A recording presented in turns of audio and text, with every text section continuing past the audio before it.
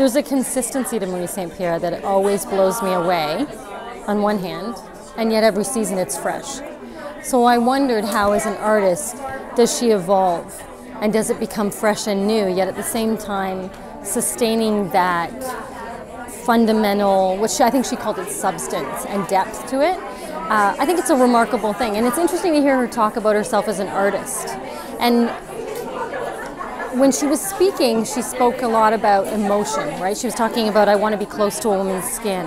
I want her to feel powerful. I want it to be easy. There was this emotive language, which is so juxtaposing to how I think so many women feel about her clothes. They're architectural, they're strong, they're powerful.